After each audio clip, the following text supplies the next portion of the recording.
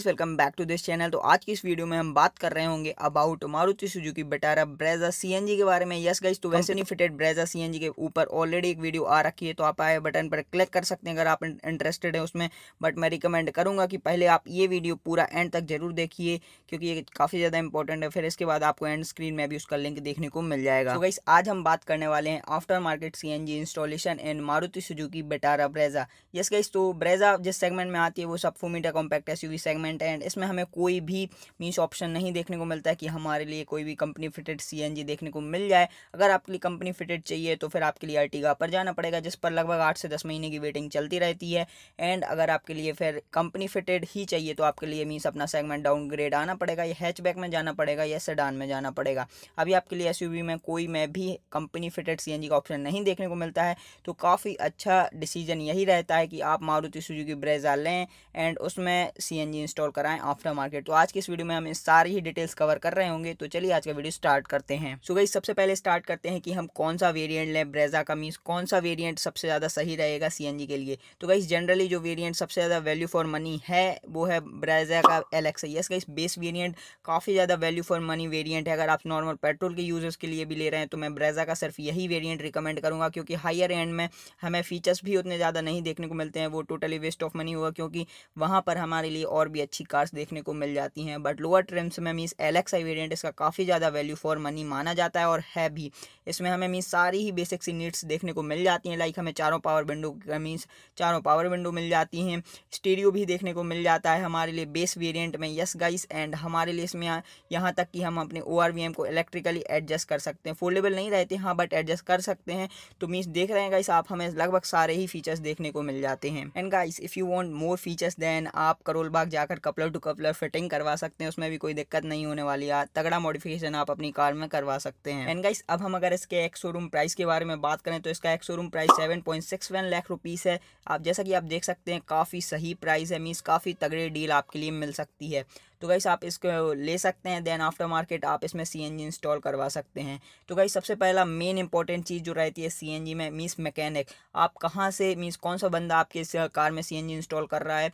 Means वो काफ़ी ज़्यादा डिपेंड करता है। अगर वो काफ़ी सही निकला, काफ़ी सही सेटिंग अगर उसने बैठा दी तो आपकी कार भी कंपनी फिटेड से कोई कम नहीं होने वाली है। तो प्लीज़ जब भी आप सीएनजी इंस्टॉल करवा रहे होंगे तो प्लीज़ एक बार चेक ज़रूर कर लीजिएगा कि आप किस मैकेनिक से करा रहे हैं, उसका काम कैसा है। मीस सब एक बार एग्जामाइन कर लीजिएगा। सो गाइस अब बात कर लेते हैं कि हमें ब्रेजा में 1.5 लीटर का इंजन देखने को मिलता है, जो कि 103 बीएचपी की पावर जनरेट करता है और 138 न्यूटन मीटर का टॉक जनरेट करता है। तो गाइस मैंने कई सारे मीस ऐसे ब्रेजा ओनर्स को देखा है मीस जिन्होंने सीएनजी इंस्टॉल करा रखी है एंड उन्हें कोई भी शिकायत नहीं है। यस गाइस तो बट एक और काफ़ी ज़्यादा इंपॉर्टेंट चीज़ मैं बताना चाहता हूँ कि जब भी आप ब्रेजा लेंगे दैन आप अगर सीएनजी इंस्टॉल करा रहे होंगे तो उसमें आपके इंजन की वारंटी वॉइड होगी। तो आप एक्सटेंडेड वगैरह ना ही लीजिए जब भी आप ले रहे हैं। अगर आपका मीस क्लियर है कि मुझे सी ही इंस्टॉल करवानी है।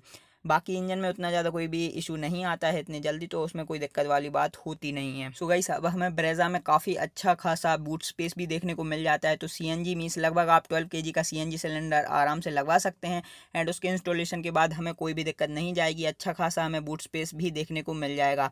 तो अब बात करते हैं कि मीस अगर प्रेशर अच्छा हुआ तो लगभग नाइन के गैस उसमें आराम से आ जाएगी एंड अब मोस्ट इंपॉर्टेंट बात रहती है कि कितना हमें उससे माइलेज देखने को मिलेगा। तो कैसे ये जो मैं माइलेज अभी आपको बताने वाला हूँ, ये लगभग मिनिमम माइलेज ही बता रहा हूँ आपको, इससे ज़्यादा ही मिलेगा। मैंने जितने भी ओनर्स से सुना है मीन्स मीन्स सिटी में आपके लिए आराम से ये ट्वेंटी अब अब देगी मीन्स ट्वेंटी किलोमीटर पर के एंड हाईवे पर आराम से ये twenty five K means kilometre पर के देगी और इससे ज़्यादा ही देगी। जैसा कि आप देख सकते हैं, काफ़ी अच्छा माइलेज हमें इसमें देखने को मिल रहा है। वहीं अगर हम कंपेयर करें पेट्रोल से तो कंपनी ही इसका मीस पेट्रोल में लगभग सत्रह से अठारह क्लेम करती है, जो कि काफ़ी ज़्यादा कम रहता है। जैसे ही आप सीएनजी लगाएँगे एंड आप देखेंगे कि आप कितनी ज़्यादा मनी सेव कर रहे हैं। लगभग आधे कॉस्ट पर चलेगी आपकी कार एंड आप काफ़ी जल्दी ही अपनी कार के पैसे वसूल लेंगे। एंड गाइस अब आप में से कई सारे लोग बोलेंगे कि सीएनजी लगने के बाद लैग वगैरह आएगा या नहीं।